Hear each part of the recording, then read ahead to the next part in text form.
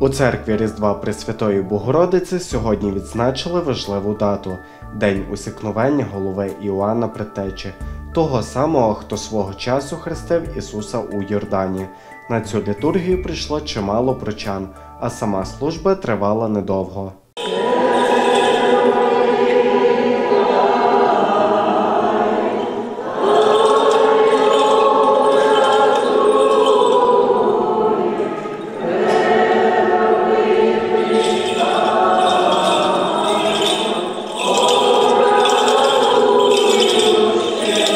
Історія страти Іоанна доволі несправедлива. Голову Іоанну Притечі відрубали за бажанням дочки нечестивої Іродіади Соломії, яка так підкорила царя Ірода своїм зухвалим танцем, що той пообіцяв виконати будь-яку її примху. Дівчина попросила голову пророка на тарілці. Так Іоанн у прямому сенсі втратив голову через жінку. Він без трепету, без сумніву просила кровавого дару. Цар не смутився. Не тому, що любив правити, а тому, що боявся бунту народу. Але, так він пообіцяв, не бажаючи міняти слова, послав кадр. І дитина віддала голову своїй матері. Їй вона не потрібна була, для чого була та страшний дар.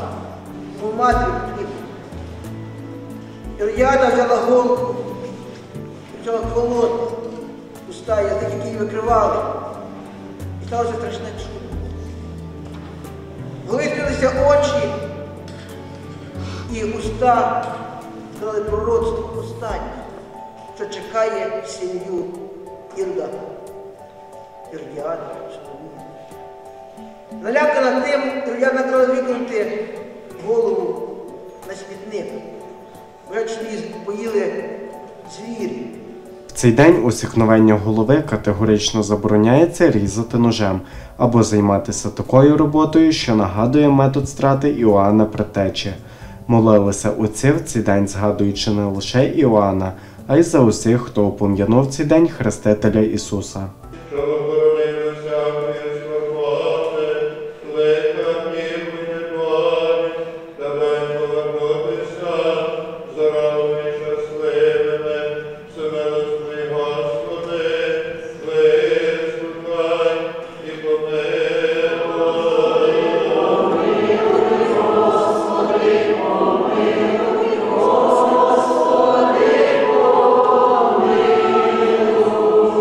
На сам кінець отець Василь Шира подякував усім, хто прийшов на службу. Саме головне, що в такий спосіб буде мир злагоден і Боже благословення, Боже спасіння.